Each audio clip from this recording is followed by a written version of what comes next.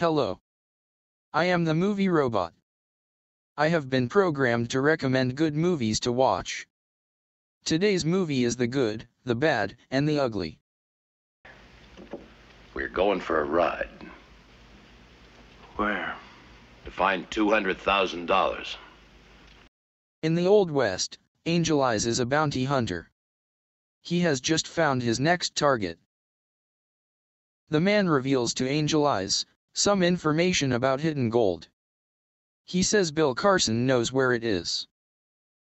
Meanwhile, Blondie and Tuco are partners in a very dubious business.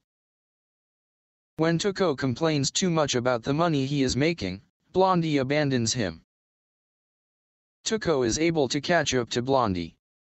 He forces Blondie to walk through the desert, till he's almost dead. Tuco manages to stop a runaway horse carriage. Bill Carson is in the coach. He tells Blondie the location of the missing gold before dying. And the movie goes on from there. The Good, the Bad, and the Ugly is an epic western, with three men looking for buried treasure. They will all be engaging in the American Civil War, and the bloody fighting between the states. Blondie and Tuco will be forming an uneasy alliance, as they traverse the dangerous frontier. Angel Eyes is equally dangerous, as he pursues Tuco and Blondie to the money. Give it a try sometime.